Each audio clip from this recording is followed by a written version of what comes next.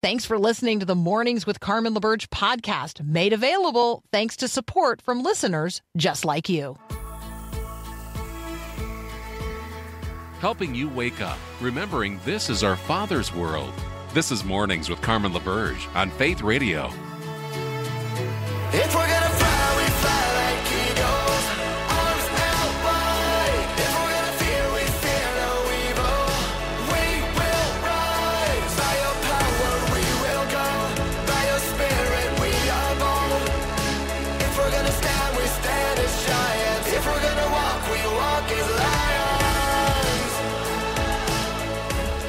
Hey, hey, hey, good morning and good morning. I'm Carmen LaBerge. You're listening to Mornings with Carmen on Faith Radio. Hey, friend, where do you live? Where do you live? Now, let's think of all the ways we might answer that question. You can go ahead and text me. The text line's always open 877 933 2484. Where do you live? Is your first inclination uh, to answer with like a city or a state? If you know I'm in the United States of America and you're not, is your first inclination to answer, "Oh, I'm uh, I live in Kenya or I live in uh, South Korea, uh, I live in Belgium." Like your your first inclination might be to offer up your nation if you know you are living in a uh, another part of the world than the one I'm coming to you from. If you live in the United States, then your inclination might be to answer that you, uh, you know, you're checking in today from Alaska or California or uh, Montana. Good morning, Billings. Or maybe uh, you are listening in Simsbury, Connecticut. Oh, wait, we dropped a city in there both times, Billings and Simsbury. And so you say to yourself, okay, well, uh, maybe she knows what state I'm in, so I'm going to answer with my city only if we are like in the same city do we start offering up like parts of town, right? So if I were with you, like sitting together right now in Duluth, and I said, Hey, where do you live? You might answer with a part of town um, or some sort of reference point. But there are lots of other ways to answer the question of where do you live? Some people live in reality and others in fantasy. Some people live increasingly online versus, you know, IRL in the real world. Where do you live? We all live east of Eden. That would be one way to answer the question. Another way to answer the question is, you know, I live, um, I live in Christ. I I live and move and find my being in Jesus. I live in the truth. That's true. How about you? I live in the truth. How about you? This question emerged as I was uh, digging around with God in His Word today. So let's get into the Word of God, that the Word of God might get into us before we get out there into the world that God so loves, so that we might do so in ways that honor Jesus. Our Growing Your Faith verse of the day comes from First John. If you're not already signed up, you can sign up for the verse of the day in your inbox at myfaithradio.com. Today's Growing Your Faith verse of the day comes from First John chapter 1, verses 8 and 9. And I want you to think about where you live, where you live as we read these familiar verses. If we claim we have no sin, we're only fooling ourselves, and we're not living in the truth. But if we confess our sins to God, He is faithful and just to forgive us our sins and to cleanse us of all unrighteousness. There's so much packed into these verses, and they are so relevant to the challenges that we face in America in 2024. Well, really, in the world in 2024, no matter where you live. And uh, let's just pause there. Doesn't that amaze you? Doesn't it stop you in your tracks that the God of the universe, the God of the universe, the one who sees the end from the beginning, knew that you and I would be talking today? Of all the days in all of human history, God knew that you and I, of all the people in all the world, in all of time, that you and I would be talking today. And in all of the ways that people can talk to one another, God knew that you and I would be talking today of all days, you and I, people of all people, talking with one another in this way. Right now. and he knew what we'd be facing in the world. God doesn't have to like scroll scroll Google to find the news of the day. He doesn't have to put keywords into the search engine. God knows what we're facing today. And he knows that we need to hear from him. And so the God that always has been and, and is and ever will be offers us his word. He gives us his word. I don't know. That just staggers my mind. Okay. So God knows that we live in a time when people claim all kinds of things as true. People claim to be all kinds of things they are not. And so God notes here in, in 1 John 1 if the things that you're claiming are not actually true, then the only person that's really being fooled is yourself. I mean, God's not fooled, and other people aren't fooled. If you were to claim that you are sinless, trust me when I tell you, I would know differently. And if I claimed that I were sinless, you would know differently. And so would everybody else. We would be living in a fantasy. We would not be living in the truth. The lies we tell and the lies we tell ourselves um, matter because God is truth, true truth. Truth is a person, He has a name. It is Jesus. Sometimes we like to imagine that truth could be reduced to some set of ideas or even a game. But truth is one of those foundational realities of life. Along with beauty and goodness, truth is one of the three transcendental virtues of reality itself. You cannot escape the truth. You can deny the truth, you can walk away from the truth, you can scorn the truth, but you cannot redefine it. You are not in a position to define what is and is not true. You cannot be your own truth. You cannot claim your own way or your own worldview as the truth because guess what? Truth is a person. Truth is defined by God. You can either accept or reject him, but he is not changing to accommodate your delusions. There is truth and there are lies. There is a personific- personification of truth, Jesus, and there is a manifestation of lies, Lucifer. You're free to choose to follow either one as your master, but only one of them is truly your friend. Read John chapter 10 today. Read Second Thessalonians chapter 2 today. Read Romans chapter 1 today. This this reality of suppressing the truth that is addressed in 1 John 1, 8 and 9, this reality of truth suppression and its consequences, it's dealt with throughout the scriptures. So again, from 1 John 1, if we claim we have no sin, we're only fooling ourselves and we're not living in the truth. But if we confess our sins to God, He is faithful and just to forgive us our sins and cleanse us from all wickedness. I hope you choose to live with me in the truth today. Our brother Thann Bennett is going to join us next. We're going to continue talking about that which is good and beautiful and true. And yeah, we'll start with him with the truth. You're listening to Mornings with Carmen.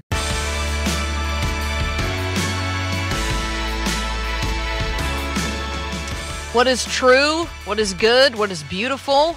Those are the uh, talking and walking points at the Equipped newsletter. Thann Bennett is joining us now. He is also host of the Equipped right here on the Faith Radio Network. Good morning, Thann. Carmen, my friend, how are you this morning? Mm-hmm. Mm-hmm. I, what is well with my soul? How about you? Oh wow, amen and amen. I love your opening line. I would, I would answer your question that I just, I, I I'm living a wash in grace and mercy, Carmen. I have been uh, forgiven, and that forgiveness, that mercy, it allows me to live uh, from a place of power, love, and sound mind. It, it's one that uh, enables me to not stay down, but to rise up and represent uh, that gospel in the world around us. So uh, I love it. That is so good. I'm taking notes. That is that is so so good. Um, I'm living in fellowship with um, with other believers. I found I find um, that is such a great encouragement and and great way to live. Um, all right, the the newsletter this week is as always so so good. Um, if you guys want me to text you the direct link for this week's equipped newsletter, the equipped newsletter um, dot com, I'm happy to do that. Just text me 877-933-2484. Thann, let's start with the true. Um, transformation is a two way street. Tell us about that.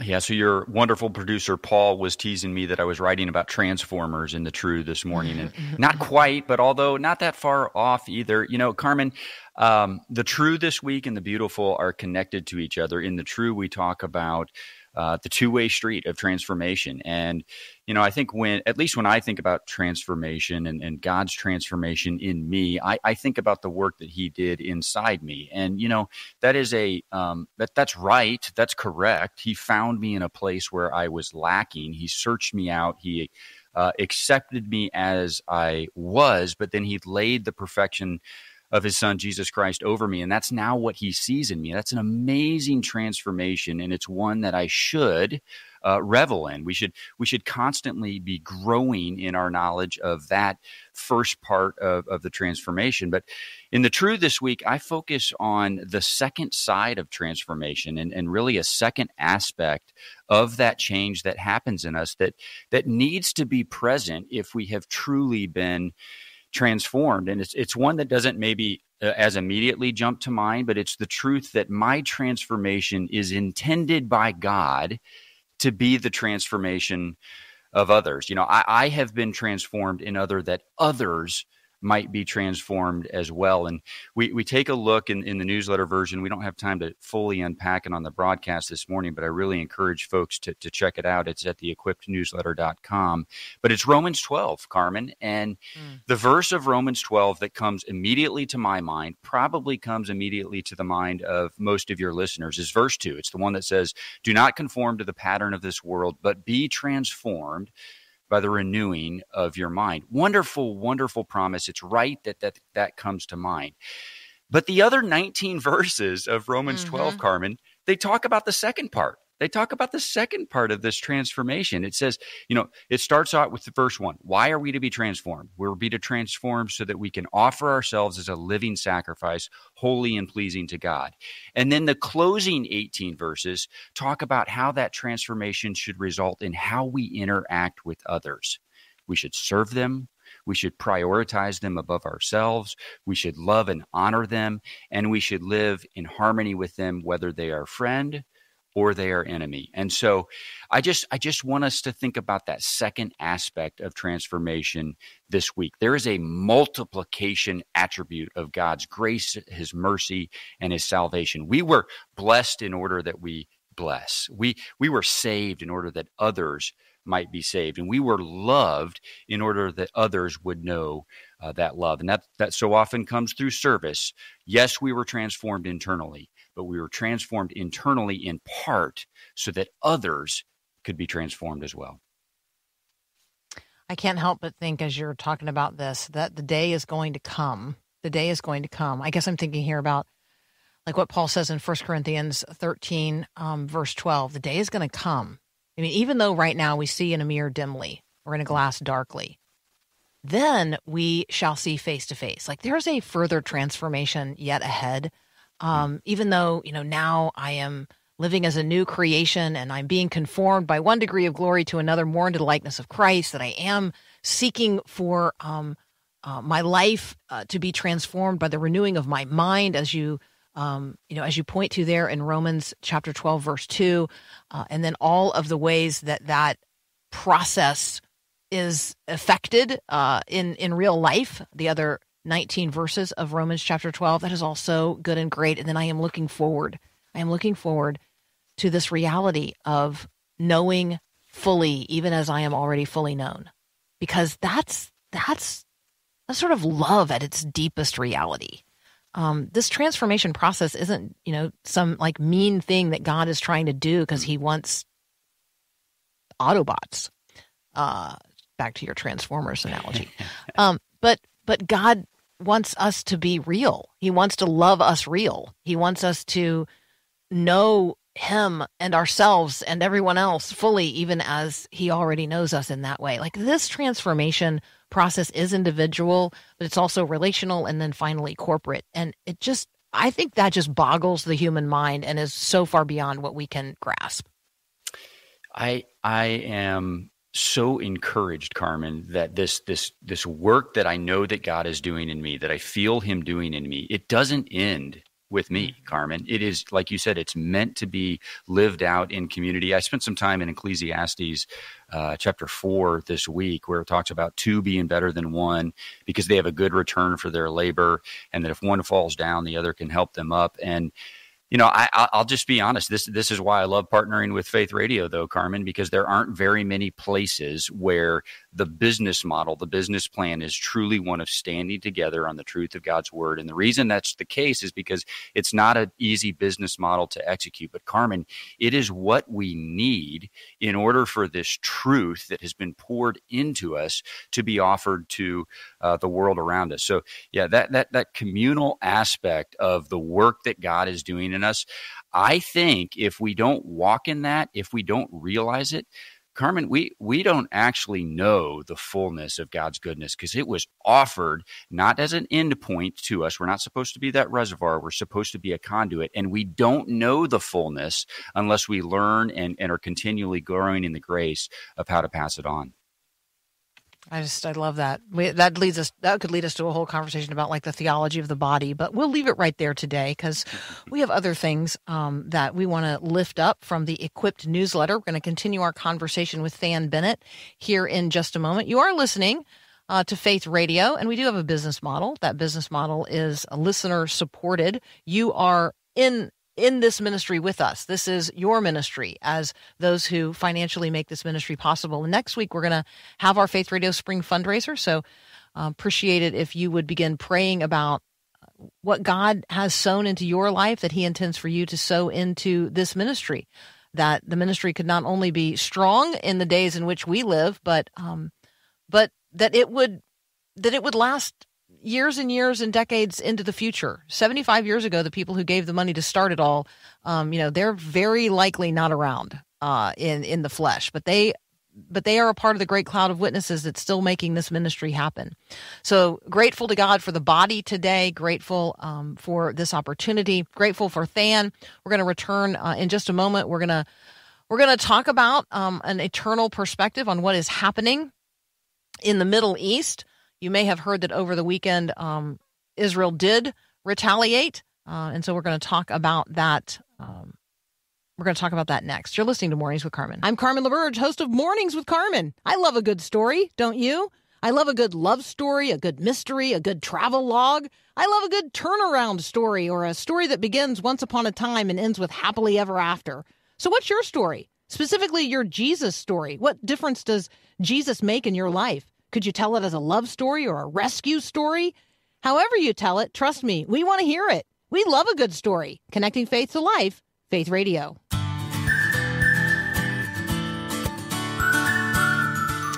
Sure is beautiful out there. And uh, sure is getting beautiful inside you as God brings his power to bear in your life and brings you more into conformity with um, with that which is truly beautiful, his son, our Savior Jesus Christ. We're talking with Thann Bennett. He is host of the Equipped here on the Faith Radio Network. He also writes the Equipped newsletter. Encourage you to check that out at theequippednewsletter.com. Um, Thann, lots going on uh, in the world over the weekend. As you know, Iran directly attacked Israel, but her defenses and her friends proved sufficient to that challenge. And then last night, Israel directly attacked Iran.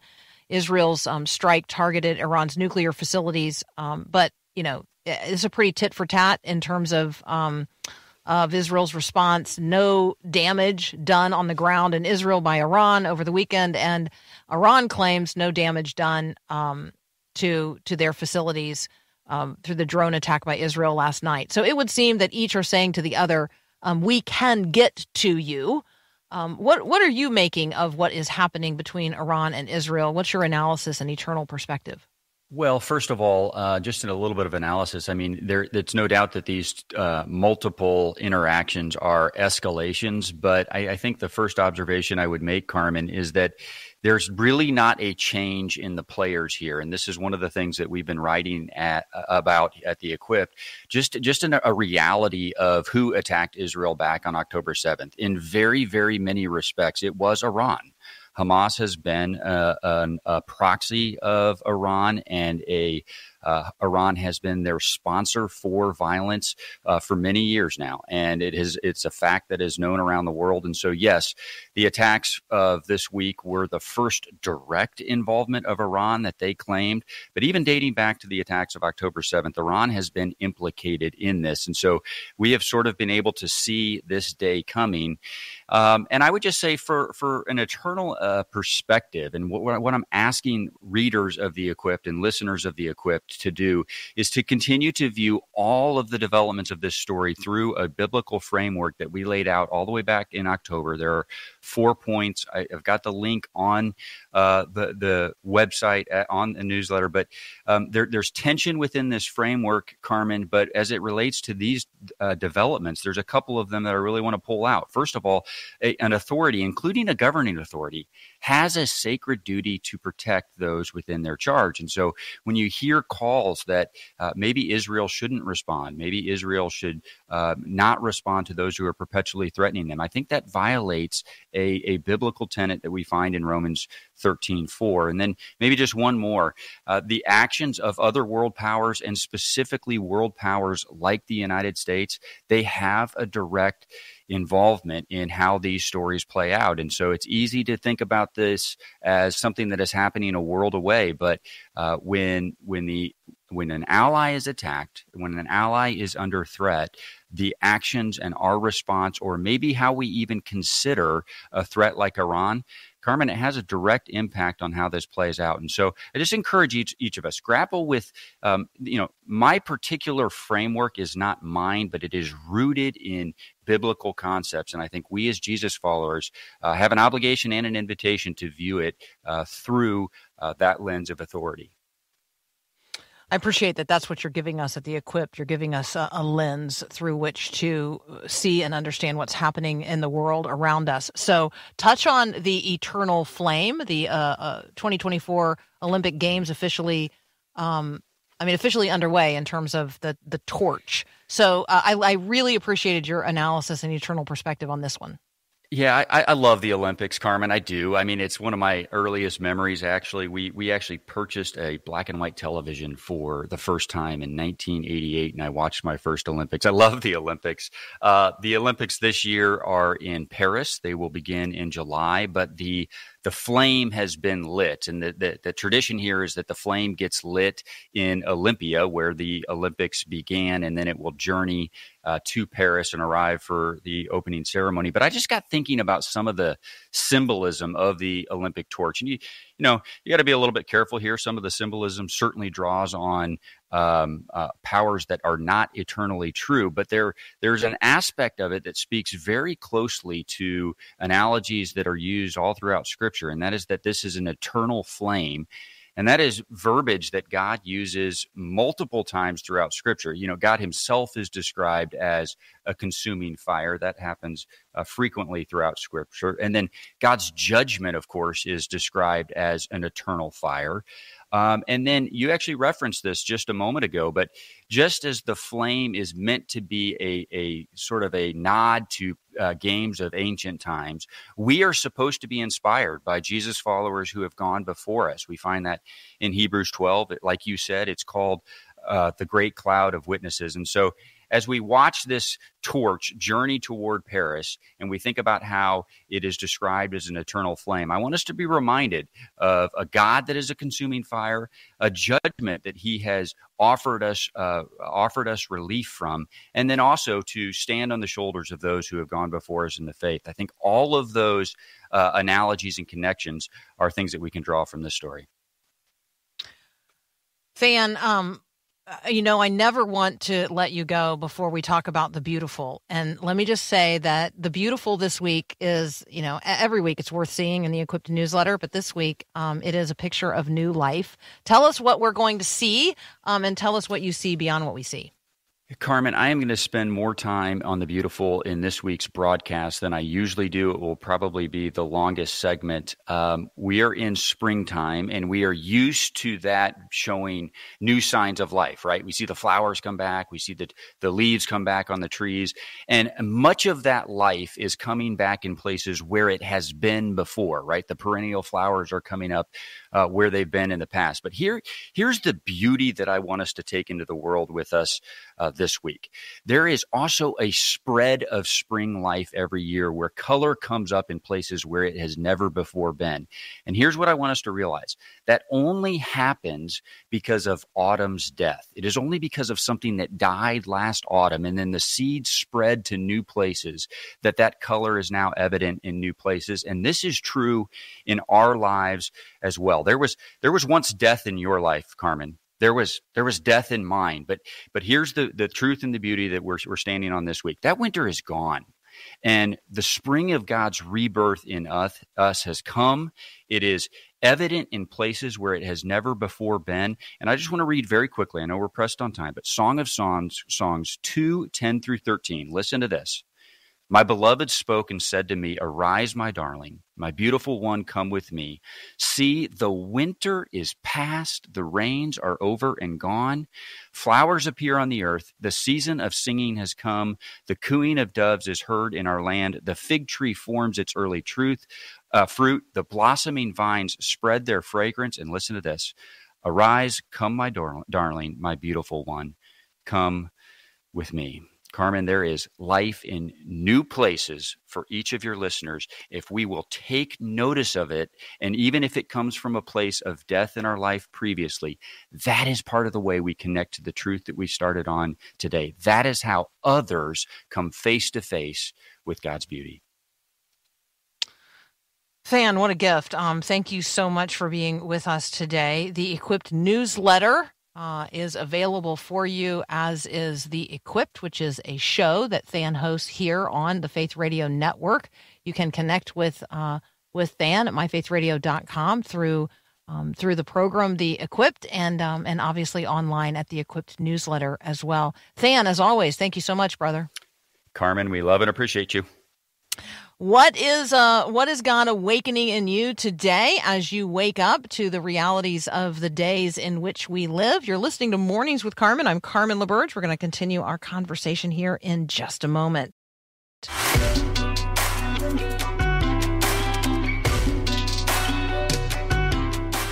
Have you ever tried to fly blind? I mean, like flying blind. Have you ever tried to drive blind? I just don't recommend these things. Um, so I'm flying blind at the moment, but my friend Dan DeWitt is going to take the wheel and he's going to drive. Good morning. Good morning, Dan. Good morning, Carmen. What's I can't see anything. I can't see anything. It all disappeared a moment ago on my screen. So all I know right this minute, all I know right this minute is that I'm talking to my friend Dan DeWitt and he's going to drive the car. Dan, what, This what's would be crack a fun. lagging? Yeah, mm. totally, right? Yeah. That's Let's never go. Happened do this. before. This. has never happened before. I normally, I normally, I mean, I say normally. I used to print out a paper backup. Like I used to, like, so I would have a crutch. And I stopped doing that because, right, the internet is so reliable. yeah. How, how'd that work Oh. out for you, Carmen? yeah. So this morning, I'm, I'm feeling like I, like all of a sudden, I'm sweating. Anyway, there's a lot going on. There's a lot going on, Dan. Um, where are you? What's happening? And what are we talking about? All right. So I am in Ohio. I just got back from um, Southwest Baptist University, where I lead the Center for Worldview and Culture in Bolivar, Missouri. And it's good to be home for a short while. I'm going to be heading back to Missouri to speak for the National Gathering of the Baptist Bible Fellowship International, which is a um, denomination, a collection of independent Baptist churches. So I'm glad to be home for a little bit. And then when I get back from that trip, Carmen, I'm going to Ireland and England, where I'm going to be teaching my C.S. Lewis class. And yes, I live a super privileged life. I'm really excited about that trip. And today, you've asked me to talk about a few different things. And one of them that Paul included in his email, which you can't see, and I can. I guess I could talk about whatever I want to talk about right now because you wouldn't know, right? No. So- uh, so God, so God's at work. Um, how can heaven be good if people I love aren't there? Uh huh. I have, I, I have arrived back. Look I, at you. I am, my notes are restored. My notes are restored. I do think this is a legit question. Like you, you are asking Yeah. such an important, legitimate question. Um, I actually know people who are resisting.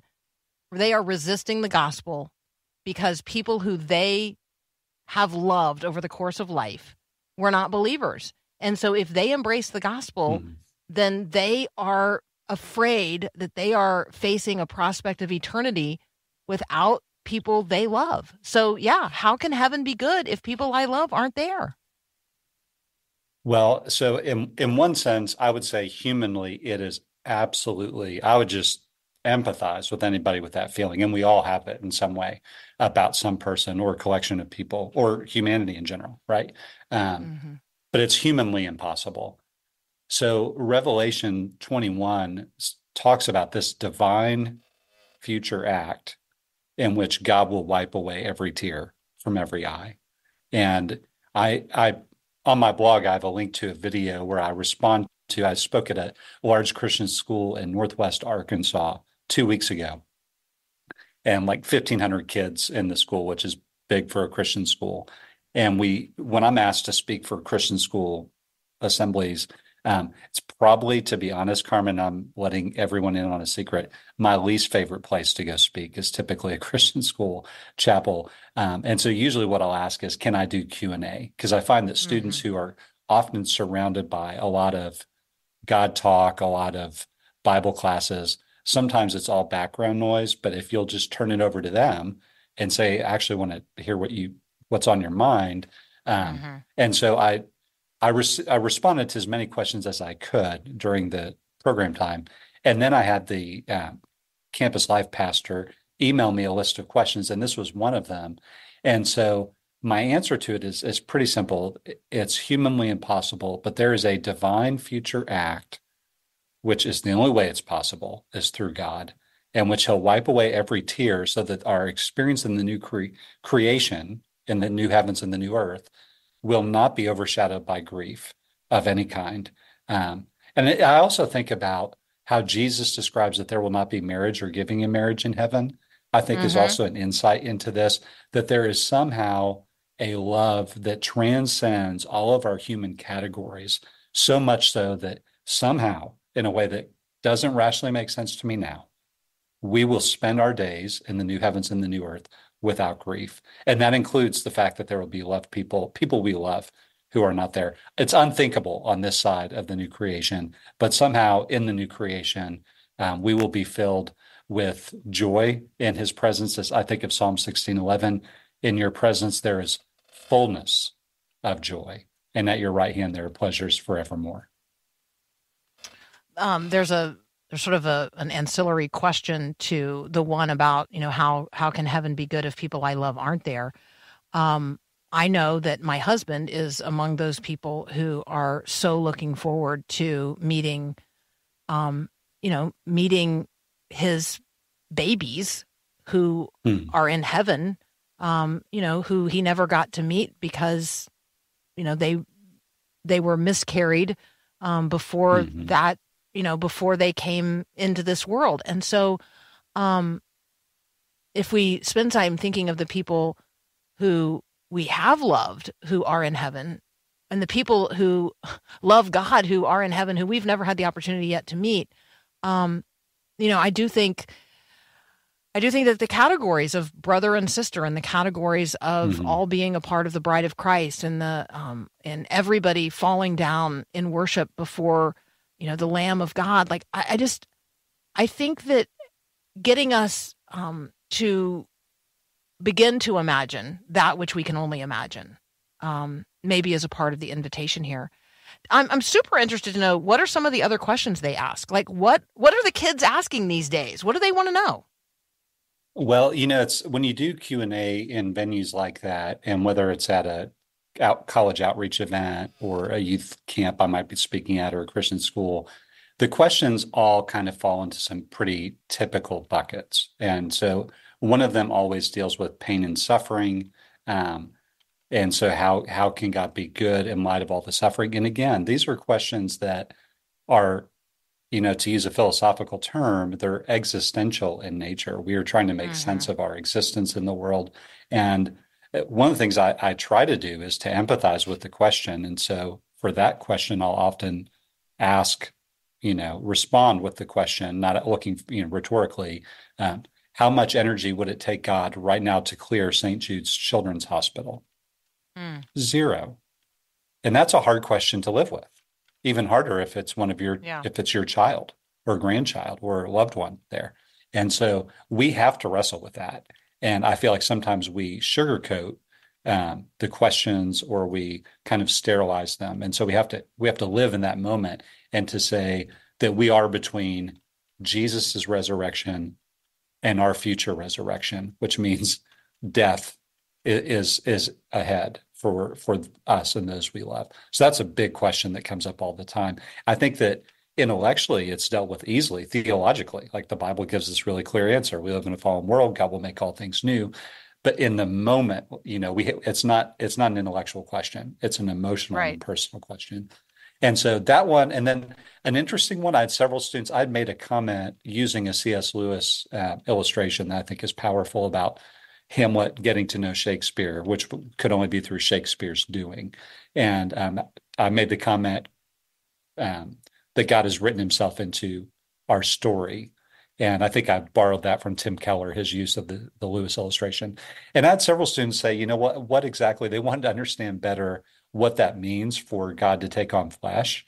And they've heard that numerous times. But what does that really mean for God to have, for God to be God and man? And so that was a big one. Um, why should I trust the Bible? Stuff, stuff like the kind of things you would expect. And then probably the the thing that's more common and recurrent um, today than it would have been maybe 20 years ago would be identity issues. You know, how do I Mhm. think about my own identity? What about my friends who are experiencing dysphoria over not feeling at home in their own body, trying to make sense of their identity? Those are always those are always questions that students have. That's so good. Thank you for giving us um, those insights. We're talking with Daniel DeWitt. Uh, he serves as a senior senior fellow at Southwest Baptist University. You can check out what he's writing at theolatte.com. We like to check in um, with Dan on uh, not only what he's writing, but what he's thinking about and, um, you know, the world that God has him walking around in as an agent of grace uh, and minister of reconciliation. Um, I do want to talk about these temporary tears in just a moment, but maybe when we come back, we could touch on the eclipse science and ultimate reality. Could we do that? We can do that. That we let's talk about the eclipse that changed the world. Mm-hmm. Mm-hmm. Let's talk about the eclipse that changed the world.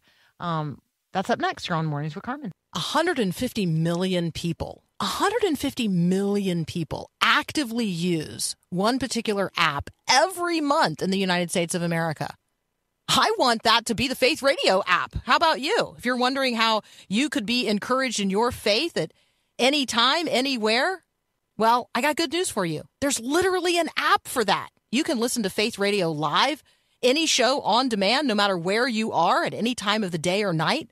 Download the free Faith Radio app right now. It's super easy. Just text the word app to 877 933 2484 and click the link. Let's connect faith to life.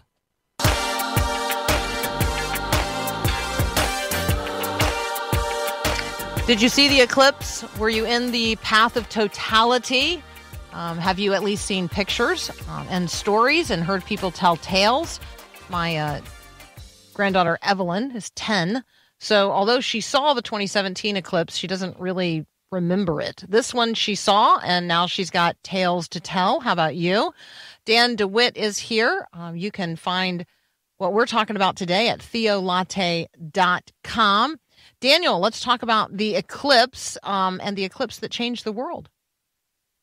Yes, the eclipse that changed the world, and I am in the total the totality. So in here in near Dayton, Ohio, we were able to you know see the sun completely blocked out, and you had the those you know a few seconds where you could actually take your glasses off because you couldn't with the glasses on you couldn't see anything you know when the sun was completely blocked out.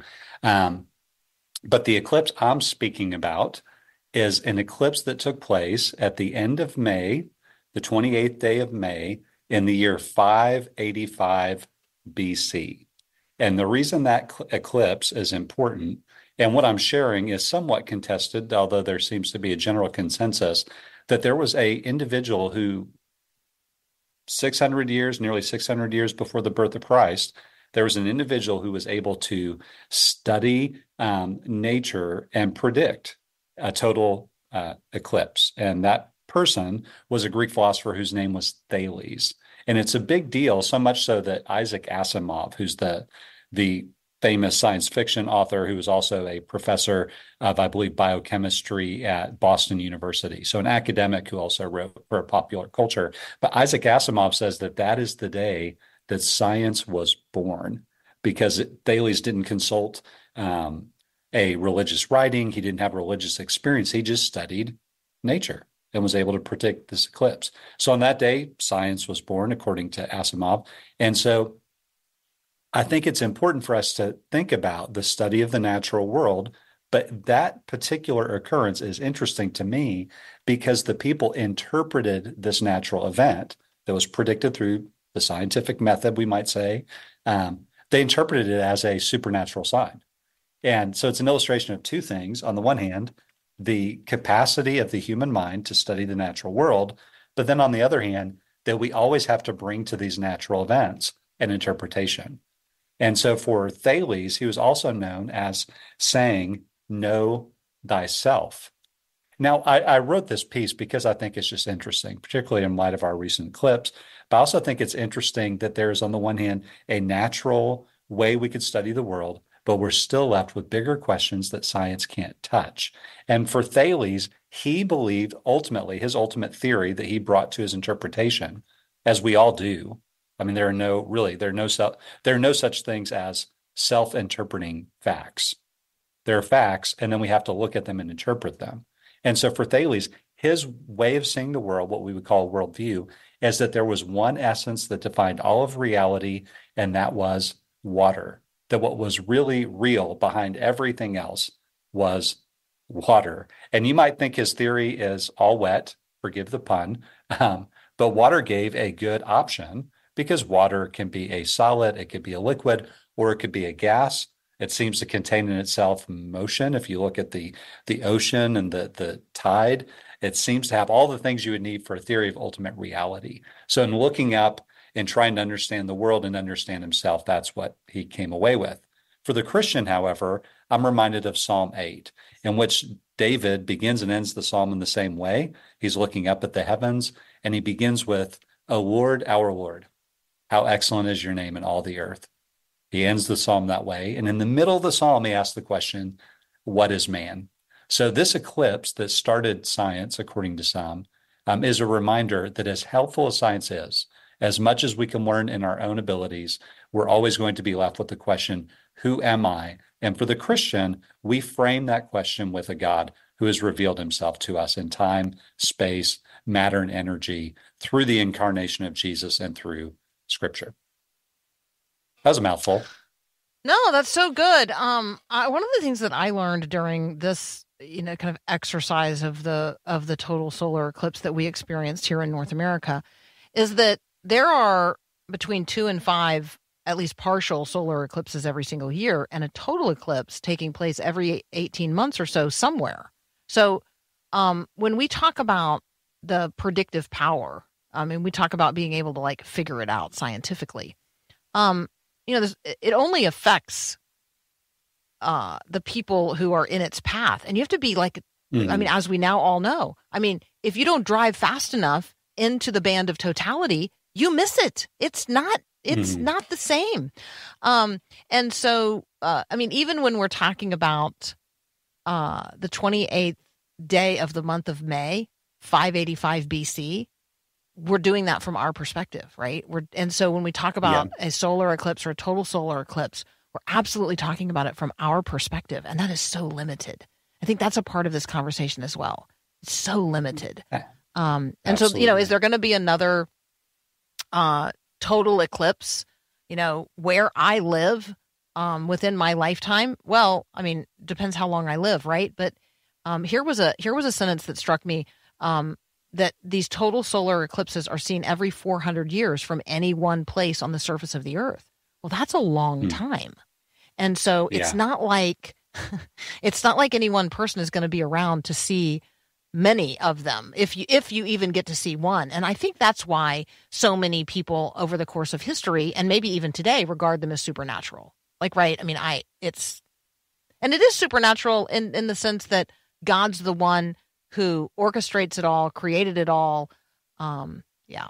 Anyway. And there's eclipses in the Bible and I think those are worth studying as well. Yeah, the the predictive power of science is is really amazing. That God created us with this capacity to study the world and make sense of the world. Um, but we're still left with those questions, like David staring up at the stars in Psalm 8. Mhm. You know, who am I? And like you said, I've a, I've got a link to an article um, called "What Is Lived Experience," and it's with a philosophy magazine. But it's looking at the way that we all, you know, for some people, they didn't see the eclipse because of where they live in the world. We all have these Mm. different lived experiences. Um, however, there are perennial human questions that, that's that are universal, and we're all trying to figure this out together. And either there is there is no top-down information, there's there's nothing from outside of our world to tell us what the design for the world is. Um, and in that case, we just have the best we could do is from our limited vantage point to try and make sense of it all and to try and bring to our lives some meaning and value. But for David, he finds great comfort in looking up at the stars, knowing that, oh Lord, oh, our Lord, how excellent is your name. That he answers the question of who am I in the framework of not bottom up information exclusively, what we get through science, but top down information, this God who has revealed himself. Uh,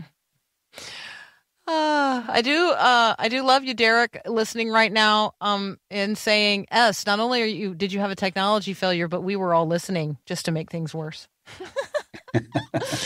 Ah, Daniel, thank you for walking with me um, this morning in this conversation. Thank you for all that you do each and every day to shepherd the hearts and minds of young people. Um, thank you for still standing in awe of God Hmm. and the created universe. Um, and thank you for helping us make some of these really important connections. You guys can read um, what Daniel is writing and connect with him at theolatte.com.